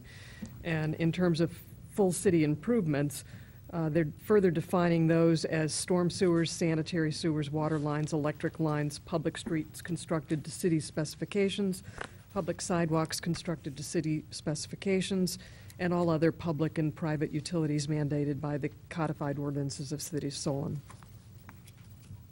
Okay, um, it- it- this is on first reading, so my suggestion is let's keep it, uh, keep it on uh, first reading. Item uh, seven. Ordinance 2012-49, and ordinance adopting annual appropriations for salaries, wages, and other expenditures of the city of Solon for the period January 1st, 2012 to December 31st, 2012. Bill? This is our 2012 12 budget for the city. It needs to be passed by the end of March, so we need to do something by the next meeting. Uh, We had many hours of hearings on these budgets. The revenue and expenditures are balanced at $32.6 million. Uh, The budget assumes net income tax is down 4% from 2011, so a conservative assumption, we hope, and assumes that the state shared taxes are down by 28%. That's cutbacks by the state. Expenditures, the 2012 budget is about a million dollars less than the 2011 budget. Uh, It's about 2% higher than 2011 actual expenses and encumbrances. It includes a $400,000 contingency. It includes a 400,000 transfer to the 491 capital fund. Uh, And I do want to point, there were about four, a little over $4 million in capital requests from the various departments. $2.7 million of those was approved in this budget. Okay, uh, we do have to act on it at our. Next uh, week. Next, Next uh, meeting, I'm Next sorry. council meeting? Yes. Okay. A- Any uh, further uh, comments? Okay, other than great job by the uh, Finance Committee uh, with regard to the uh, budget hearings and to uh, all the department heads that uh, made their presentations. Item eight. Ordinance number 2012-50, and ordinance adopting a City of Solon fraud policy. Uh, Dennis? Uh, This is a proposal that went through the Finance Committee uh, various times over the past several months. Um, Several years ago, the Auditor of State recommended that uh, local municipalities in the state of Ohio pursue implementation of a fraud policy that is really designed to communicate the strong fraud prevention aspect of business, both to the employees of the city and to all the contractors, subcontractors, partners, agents uh, that do business with the city. So uh, this policy was put together to outline um, specific protocols for how fraud or potential fraud is to be handled, reported, and investigated. Thank you. Um, Yeah, Rick, go ahead. Uh, Thank you, Dennis. It looks like this is a, I think, a very good start, because I think it's uh, essential and necessary, uh, as the auditor of the state has suggested that this, uh, that this be done. I have seen other uh, fraud policies. There's some thoughts and concerns I have with the policy as drafted. I'd like to uh, meet with the law director and with Mr. Kennedy uh, to incorporate uh, perhaps some additional language, um, legal stuff, constitutional issues that that I'd like to raise with them, and we talked about that at caucus. Can you leave it on first reading then? Yeah, um, I mean, the one, I, I, I took a little time, um, to look at it as well, And um, first of all, I- I I commend uh, you guys for, for taking this um, head-on, because I think, I do think uh, it's definitely uh, needed. Um, Some of my um, questions, and maybe, you know, directed to to you, Tom, would be, um, number one, how does this comport with um, some of the state uh, requirements under uh, Ohio Right- Revised Code um, with regard to to to whistle, the whistleblowing language, to make sure that it it mirrors um, the state uh, whistleblowing language, because I know that there, um, th- there has been, there was a lot of discussion over the last, you know, many years uh, about, uh, you know, the the whistleblowing uh, language, because it is critical that um, it's, uh, it's consistent uh, with, uh, with regard to the the state language. Um, My second question is, um, you know, sort of, you know, I'd like to obviously take a look at, you know, some of what other communities have done with regard to fraud, you know, fraud policy, and how they've been able to uh, implement it, you know, what type of language they, they've used uh, with respect to um, the whistleblowing, you know, the whistleblowing part of it. Because I just want to make sure that, that we're, you know, we clarify it for everyone involved, uh, and especially, you know, employees that are going to be, uh, going to be bound by it. Uh, So those are just some of my, um, and if you could, you know, just as far as, you know, the constitutional issues, if there are any uh, that need to be addressed. Well, most, cit- without getting those, most cities should have this, and that's why Mr. Kennedy Absolutely. didn't bring it forward. Uh, These are, this is going to be a living and breathing document that's going to evolve and evolve, so it's good we get at least one down, and we should start matching with others, because even the county and everybody else now modifying theirs, and uh, there wasn't a lot on this five, six years ago, and now it's, uh, it's on everybody's top 10 list to start doing, so uh, maybe it's good that we review it a little bit further. But even after we pass it, you can, you can expect that within a year, we're going to modify it because somebody else is going to build it a little bit better, and we'll try and take pieces and bits from, as it goes from every community. So let's get it in really good shape, let's pass it, let's try and live with it, and then we'll see what holes or what bumps are in the road with, in the handling of this thing, too. But I look forward to talking with Mr. Bell about that. Bill, did you have? Yeah, I just want to say, uh, Mr. Kennedy did provide, I think, at least four other cities' fraud policies to the Finance Committee, so we did have a chance to look at some others. Uh, We thought this was by far the best. He did pick and choose a little bit, though a lot of it came from some guy, was it Brooklyn or Brook Park? I forget who wrote that other one that you copied. Brooklyn. Brooklyn, okay. Brooklyn. So he knows, he's done this before. Correct. All right. All right, my suggestion is, if you have any um, comments, suggestions, changes, questions, uh, I I would, um, well, I guess, Tom, do you want, uh, do you want to take the, field of questions? As far as, as far as the legal, you know, the legal issues. I'm going to meet with anybody that wants to Thank you. meet, and uh, we'll start off with Mr. Bell and work our way from there. Okay. Well, my, why don't we, uh, obviously, it's on first reading tonight, so, Correct. okay. All right, brings us to uh, consent agenda. Uh, I don't think anyone needs to remove uh, any of the items, so uh, we'll start out with item nine. Ordinance 2012-51, and ordinance accepting various bids for athletic equipment and wear used by the Recreation Department. Uh, Bill Mooney? Or Bill? Bill Russo. Bill Russo, okay. Okay. Yeah, the bids were received from ABL Screen Printing, Adler Team Sports, Anaconda Sports, BSN Sports Supply, Design Stu- uh, Studio Innovations, Flag House, RDP Sports, and Rube Adler. Uh, They did go through and uh, pick the lowest and best uh, bid in each of the categories, and uh, this was approved by the Finance Committee. Item 10. Ordinance 2012-52, and ordinance accepting the bids of Walker Supply, John Deere Landscapes, and Agrium Advanced Tech for fertilizer products for use at Grantwood Recreational Park. Nancy?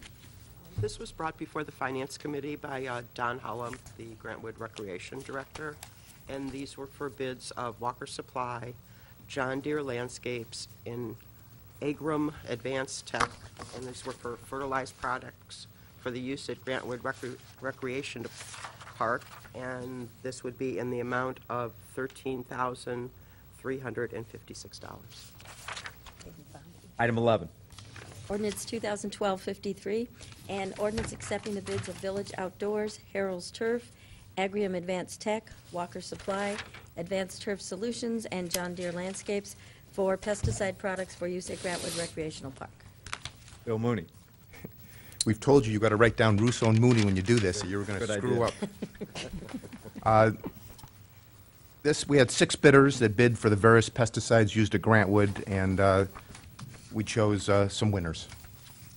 Item 12. Ordinance 2012-54, and ordinance approving an amendment to the Growth and Revitalization Incentive Program and declaring an emergency. Tony? Uh, This amendment was promulgated because of the recommendation by the Enterprise Zone Committee recommending that GRIP be um, revised to include additional eligible projects related to core shopping centers. Item 13. Ordinance 2012-55, and ordinance rescinding the job creation grant agreement with True Seal Technologies, Inc. and Beston Equipment, Inc. Bill Russo? Sure. Uh, you know, True Seal Technologies and Beston Equipment, Inc. were not uh, able to meet the program requirements for job creation and/or new payroll creation for three consecutive years, and therefore, uh, we are rescinding the agreement. Uh, They did not receive any grant funds. Item 14. Ordinance 2012-56, and ordinance rescinding the job creation grant agreement with Beauty Max LLC, FHI Heat Incorporated, Max Group Incorporated, Echo Beauty Ventures LLC, and KP Solon Holdings LLC. Tony? These project, this project did not proceed um, as described by the uh, Job Creation and Grant Agreement. Uh, And Beauty Max LLC, FHI Heat Inc., Max Group Inc., Echo Beauty Ventures LLC, and KP Solon Holdings LLC closed their Solon facilities in 2011. Uh, They also did not receive any grant funds as a result of the uh, Job Creation Grant Agreement. Item 15. Ordinance 2012-57, and ordinance rescinding the job creation, creation grant agreement with Insurance.com Incorporated. Bill Russo? Sure. Insurance.com Incorporated was purchased in 2009 and closed the its Solon facility in 2011. Uh, There is not going to be a requirement to reimburse the city uh, of Solon for the grant funds received in light of the job creation and payroll tax gain to the city of Solon from Insurance.com sublease of its uh, vacant space to another tenant. Item 16. Before I read item 16, I just wanted to clarify, the agenda incorrectly stated it is a job grant creation agreement. However, the legislation does indicate we're rescinding a growth and revitalization agreement. Okay, so that would be ordinance 2012-58, and ordinance rescinding the growth and revitalization incentive program agreement with Keystone Ruby LLC. Tony? Uh, this is being rescinded because...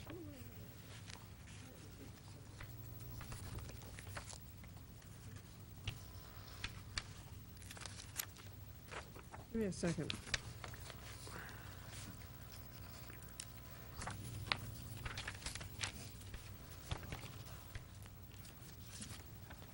Well, the uh, Growth and Revitalization Incentive Program agreement with Keystone Ruby um,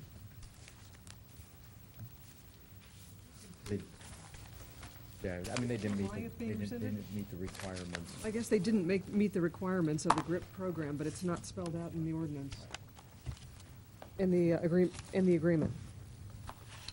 Okay. Uh, Item 17. Ordinance 2012-59, and ordinance rescinding the job creation grant agreement with Nationwide Better Health Incorporated. Uh, Bill Russo? Sure. Uh, Nationwide Better Health, Inc. was purchased in 2011 and closed its Solon facility in 2011, uh, and they did reimburse the city of Solon uh, $4,131 in in uh, grant funds received. Item 18. Ordinance 2012-60, and ordinance amending ordinance number 2012-45, which provided for a pay adjustment and pay schedule for city employees not covered by a collective bargaining agreement for the year 2012 to provide for a passage under an emergency. Bill Mooney? Uh, This provides for the pay raise for city employees for the year 2012. We actually passed it at our last meeting, but we didn't include the language passage under an emergency. So we've added that language to this ordinance. Item 19. Ordinance 2012-61, and ordinance amending ordinance 2012-46, which approved various amendments to Chapter 260 of the Administration Code to clarify the definition of immediate family, to include guardianship, and to provide for passage under emergency. Tony? Uh, This ordinance is amended to include guardianship in the definition of immediate family for sick leave purposes uh, for city employees. In addition, the emergency clause was added. Okay. uh, brings us to the end of uh, our consent agenda. There a uh, motion uh, to approve? We got Councilman Bell, second by Councilwoman Richmond. Uh, Roll call. Mr. Bell? Yes. Mr. Kraus? Yes. Mr. Pelunis? Yes. Mrs. Meany? Yes. Mr. Mooney? Yes. Ms. Richmond? Yes. Mr. Russo? Yes.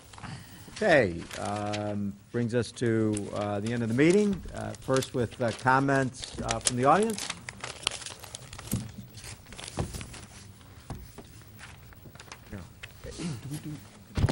John Nolan, 35200 Bainbridge Road.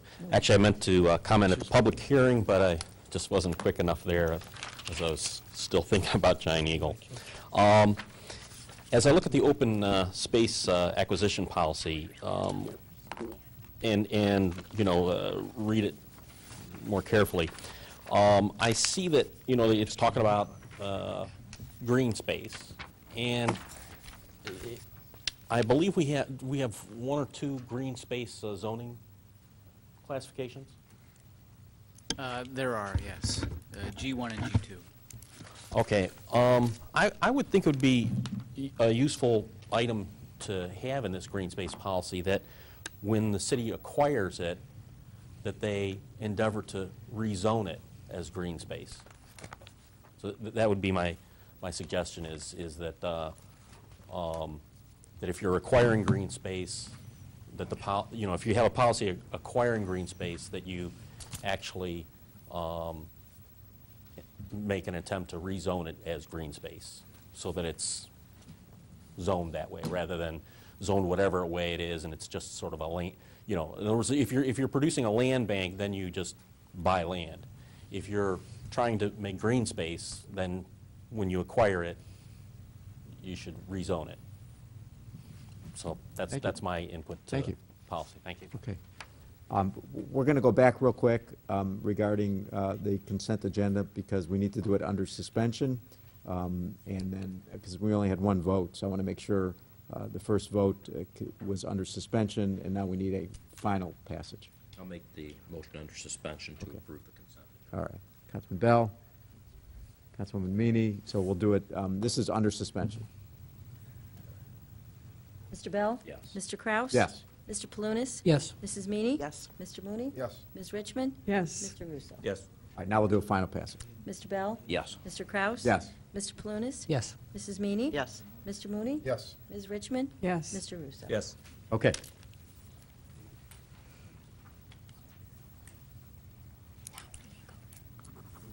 You okay, Tom?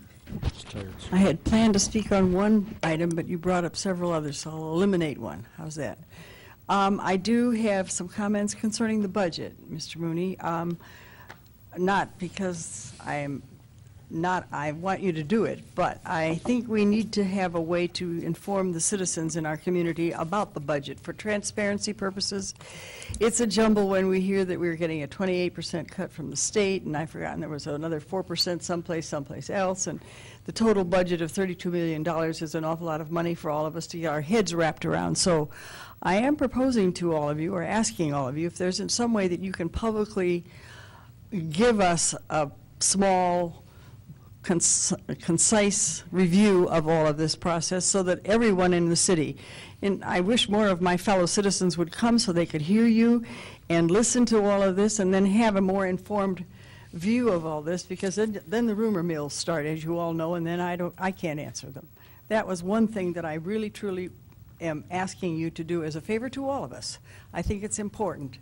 Then I have to come back to the uh, Giant Eagle comment that I made last week, or the last time we met. Um, I am concerned about the look of this community, to the community when we get all of this trucks coming in to deliver gasoline and cars coming in and little buildings here that are going to sell things and bigger buildings back there that are going to sell other things. We still haven't addressed, I hear them talking about these green spaces within the parking lot, islands and all sorts of things. I haven't heard a word about grocery carts.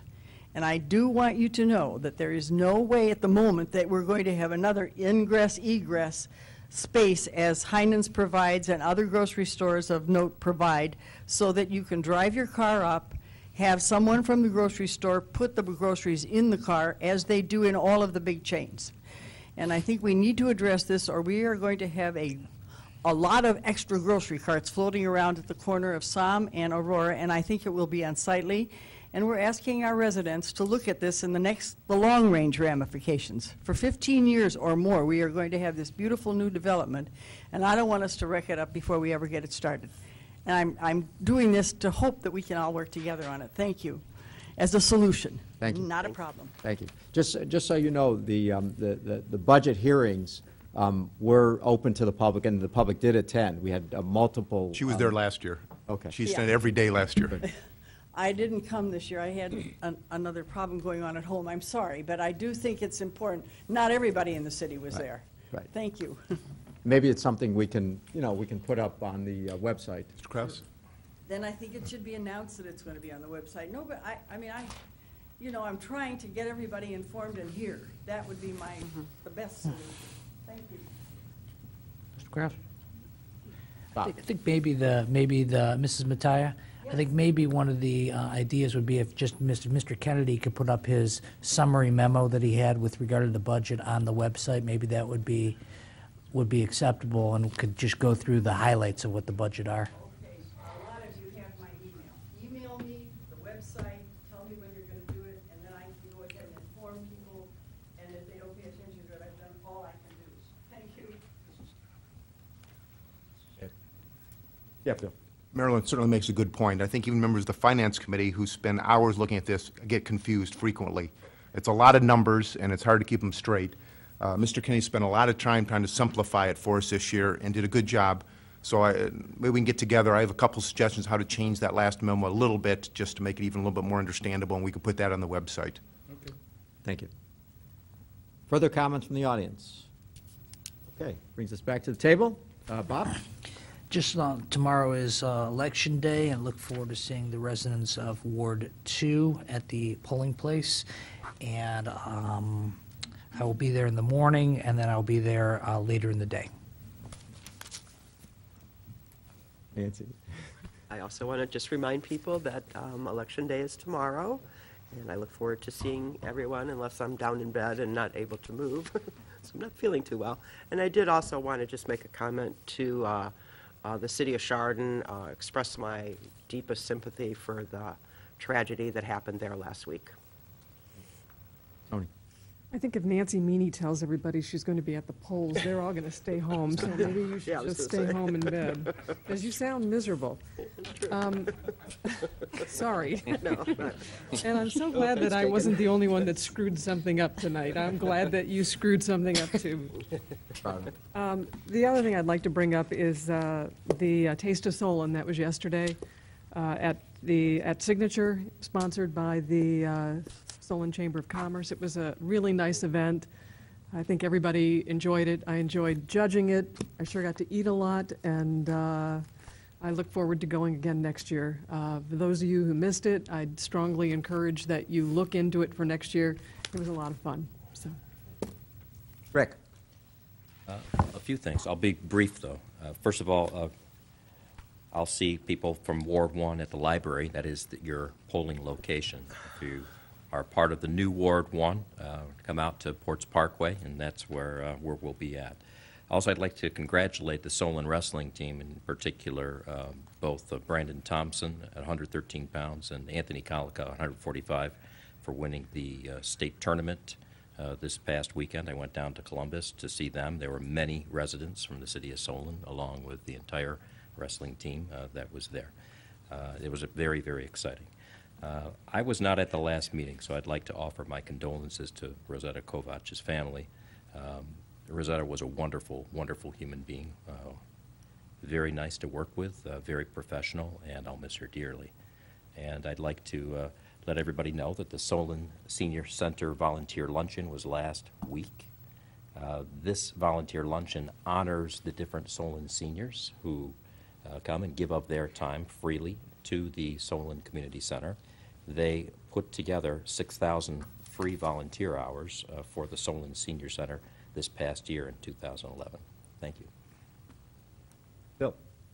Well, I'm very disappointed this dad sitting to my left didn't brag a little bit about his daughter, who was down the state tournament, did very well in gymnastics. Uh, You can mention the wrestling and all the other teams that did well. I think you ought to mention your daughter and the gymnastics team in general. Congratulations. I, I was hoping you would. Did I give the 20 back to you now or not? Yeah, yeah.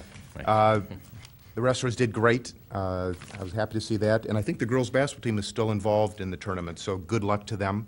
And just want to encourage everybody to vote tomorrow. Uh, Bill? Yes, I I also encourage people to get out and vote, and again, the uh, residents in Ward 7, your polling place is the senior center. Uh, So again, uh, partake in your responsibility. Uh, Also would like to congratulate the wrestlers that uh, won state also, is it Brian Kresovic? Custom, Came in third, and I think um, Brandon Thompson, Anthony. Right. But, uh, but Brian, I think, uh, did an outstanding job because it's easy, once you lose in the championship round, to really lose focus. And uh, he battled his way back to third place and actually ended up beating the individual uh, for third and fourth uh, that beat him earlier in the tournament. So congratulations to him as well.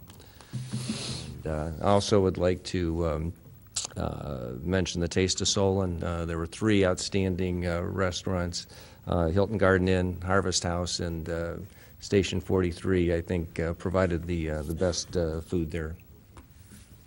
Thank you. Um,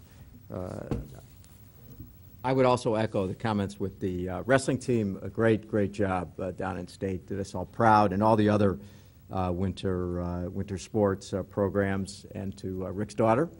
And, and I know the girls' team is still playing. I think they're at the regional level now, so good luck to them. It was a nice weekend in Solon, a lot of different events that residents were able to take advantage of. Uh, The uh, Taste of Solon yesterday at Signature was a uh, wonderful event, lots of great food. Um, I also want to commend uh, several uh, clergy uh, put together an impromptu uh, service yesterday afternoon at the high school for the victims of the uh, Chardon uh, shooting, and I want to commend uh, the clergy uh, for putting that that together. It was uh, very meaningful uh, for the folks in Solon to come out and express their uh, feelings and condolences. And um, also, uh, Saturday evening, uh, congratulations to everyone involved with the uh, Blue Ribbon uh, Fun Fest at the uh, Rec Center.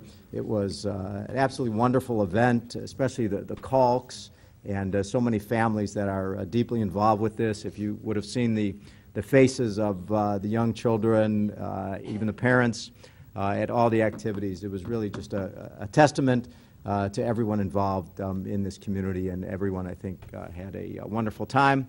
I look forward to seeing uh, folks tomorrow, uh, as some of the new residents, particularly those in uh, the Preserve and Alshire, will see you uh, tomorrow uh, here at uh, City Hall uh, at Ward 6. So hopefully, everyone can get out tomorrow, vote if you haven't voted already, and hopefully the weather will cooperate. Mayor? Just two um, issues as far as with the Fun Fest. They did have outstanding numbers this year. It was a great success, and I would like to thank uh, both uh, Chief Shaw and Chief Viland for having your police and fire presence there because they really do enjoy seeing um, um, uh, the folks that work in fire and police and what you have to offer to the community. So thank you both for having a presence at that festival. Um, And also just a housekeeping issue. Uh, For the Tax Incentive Review Council, uh, we have to, um, uh, with the Cuyahoga County Fiscal Officers Department, we have to appoint members for the Tax Incentive Review. Three members are appointed by County Executive Fitzgerald, two are appointed by uh, me with consent of the council, and then the Solon Board of Education will appoint one member. Uh, We have uh, two members that I'd like to appoint, which are the, the, both gentlemen have been serving on this uh, council for uh, quite some time. Uh, So at this time, I'd ask for a motion to approve Terry Dean and Steve Letsky to the Tax Incentive Review Council for the City of Solon. Motion approved. Motion by Councilman Russo, second by Councilwoman Meany. Uh, Roll call on approval for the uh, Tax uh, Review Council. Mr. Bell? Yes. Mr. Kraus? Yes. Mr. Pelunis? Yes. Mrs. Meany? Yes. Mr. Mooney? Yes. Ms. Richmond? Yes. And that completes my comments. Thank you. Tom? Two matters. One, I've uh, said something privately for some time, and I've been here for a year, and I've had the pleasure of getting to know everybody at the table, plus all the other directors, but I'd like to really make a special attention uh, to the clerks. Uh, They have really been a big benefit to me uh, at this council meeting, I always pass her notes, I need this, I need that, and sure enough, it pops up in my, uh, the next day I get it, and it, uh, they've done a remarkable job, and I, they, they do all the work behind the scenes. uh, So I'd like to thank the entire clerk's office. I said, I'm echoing the same comments that I finally made public even at the planning commission. Uh, Lastly, I will uh, ask for an executive session uh, for pending litigation, inviting all of council, the law director, and the mayor for a time period not to exceed 10 minutes, if that's okay with the two bills to my left. Write that down, Mayor. Uh, And I do not expect any action by, uh, Is that, is that on the record? on the record, absolutely. I'm limiting the executive session to 10 minutes. Uh, If that's, uh, we make that motion, and I do not expect any action by council thereafter. Carol? Well, first off, thank you very much, Tom. I appreciate the comments. I'll pass them along to Donna and Deanna, and it's a group effort there. So thank you. Chief? Uh, Just very quickly, in light of several recent incidents, not the least of which is the incident that happened in Chardon, I wanted to remind our citizens that one of the most effective tools we have available to us to disseminate information in a rapid manner to individuals is via Twitter, uh, social networking. So I'd just like to uh, remind people to sign up to follow us at Solon Police, and you will get periodic uh, emergency notifications, road closures, et cetera, and so on. But it's a very effective methodology for us. And we've hit a lull with new membership, so try and regenerate some interest. So thank you very much. Chief? Good, thank you. Okay, we'll make that work. Thank you very much. Just wanted to take a moment to uh, discuss some severe weather. Um, As we noticed this weekend, uh, March 2nd and 3rd, there were uh, approximately 46 tornadoes across the country with 39 fatalities. It's still winter, Um, so I don't know what to expect this spring. Uh, Every year, we do get questions about our outdoor warning siren system. I just want to remind people that that system is designed for people that are out of doors, away from mass media outlets, radio, television, and whatnot. And the question becomes, how do we know about things, uh, uh, severe weather and those types of warnings when we're inside? A very simple device, and I I hope this is up in the picture. This is a weather warning radio. Uh, This can be uh, programmed specifically for Cuyahoga County, so you're not interrupted by uh, weather warnings from other surrounding counties. Certainly gives you enough opportunity to uh, protect yourself and your family and to take preparedness actions. Strongly recommend that everybody has one of these. Uh, They're readily available at all big box stores, uh, electronic stores, and those types of things. They're not very expensive, and and really, when you consider the investment in in the safety of your family, they're very, very inexpensive. I would recommend getting one that also has a battery backup. So in the event of a power outage, which normally happens, a thunderstorm will come through, and then maybe more severe weather comes through after that, the unit still would function with a battery. So that's the recommendation uh, for uh, protecting yourself inside your home. They go off, they're very loud, very annoying, and they will wake you up. And that's what we see most frequently when we have uh, severe weather is uh, it it comes at at odd hours when people are sleeping, and that's when you have the most problems with fatalities and whatnot. So this is the recommendation for inside your house, certainly for outdoors. You'd want to listen for the outdoor warning siren system, because that's what they were designed for, but when you're outside. Thank you. Thank you. Dennis? Uh, Just in brief, uh, we completed income tax collections for the month of February. Um, Through the first two months of this year, we've collected $5.95 million. That's all sources, including withholding, net profit, and individual collections. Last year through February, we had collected $6.7 million. So this year, year-to-date, we're down about 11.7% compared to last year. Based on the estimate that uh, we rendered at the beginning of the year, that's after refunds, was a little over $38 million. Uh, We're currently, based on the two months, about $535,000 behind the cumulative projection for January and February. Uh, Good news is, though, February 2012 collections were the highest ever for the month of February in city history, so that helped offset uh, the decrease we experienced in January, and hope that uh, the next several months get us back on track. That's it, thank you. Rob? Uh, Yes, just wanted to uh, offer congratulations to uh, Li- planner uh, Linda Crombie and her husband Rick on the birth of a healthy baby boy uh, this past uh, Saturday. Uh, The baby's name is Richard, named after uh, the daddy, and um, I estimate that he'd be uh, able to work in the planning department, which I think is every uh, parent's dream, in about 22 to 23 years. So, But uh, congratulations to uh, Linda and Rick. Tom? Uh, Yes, Mr. Chairman, we, uh, there is one other um, executive session matter on the agenda for uh, collective bargaining. I'd respectfully request that uh, Chief Shaw and myself be invited along with the mayor, uh, Mr. Loby, and the rest of council. Thank you. Tom? Yes, as a reminder, it's the first full week of the month, so it's secondary recyclable week. Uh, Residents have those particular items, propane bottles, computers. Uh, It's listed on the city's website. Uh, Place those items out for c- collection this week. Uh, The Service Department's also campaigning for uh, some signatures for the tab on the city's website of Notify Me. Uh, The city's going, the Service Department's going to be putting reminders on there for residents uh, that are subscribed to that section of the website, uh, basically like Secondary Recyclable Week, Recycle in general, during leaf collection season, we'll be able to get messages out to the public if you subscribe to that. So it's kind of like a Facebook section, but uh, specifically uh, on our website, Notify Me tab, go there and subscribe to that, and the Service Department will be able to send you notifications through our city website.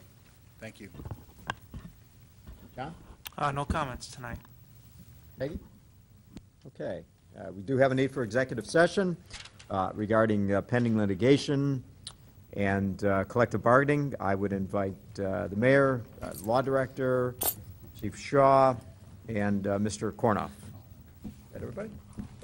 Okay, I- and we will not be taking action uh, after. Uh, Motion by Councilman Russo, second by Councilman uh, Pelunis. Uh, Roll call. Mr. Bell? Yes. Mr. Kraus? Yes. Mr. Pelunis? Yes. Mrs. Meany? Yes. Mr. Mooney? Yes. Ms. Richmond? Yes. Mr. Russo? Yes.